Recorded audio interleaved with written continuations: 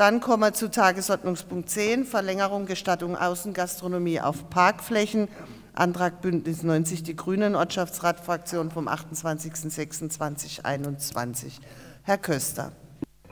Ja, wir haben ja in Absprache mit dem Stadtamt Durlach auf eine äh, Vorlage von einem Fachdezernat verzichtet, weil wir den Antrag in dem Sinne gedacht hatten, dass wir ein politisches Signal an den Gemeinderat senden, der jetzt wohl auch im Ende Juli tagt.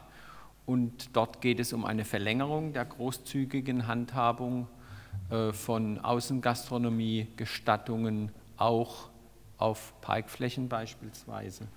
Mehr gibt es dazu nicht zu sagen. Von unserer Seite aus kann das abgestimmt werden.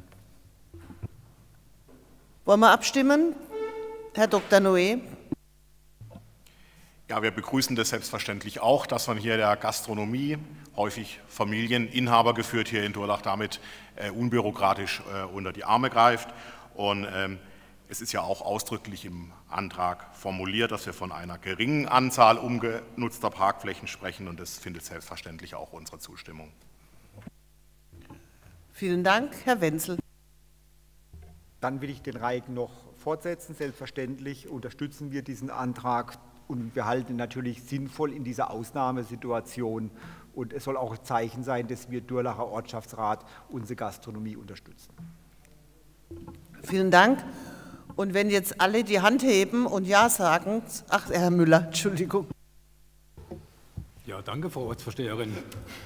Ähm, dem ist in Bezug auf meinen Vorrednern seitens der CDU-Fraktion nichts hinzuzufügen. Das wollte ich bloß gesagt haben, mehr nicht.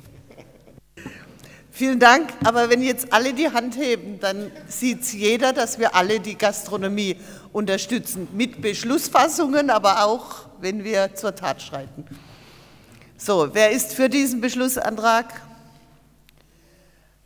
Deutlicher kann es nicht sein, ist einstimmig das Haus. Der Durlacher Ortschaftsrat äh, spricht sich für die örtliche Gastronomie aus. Vielen Dank.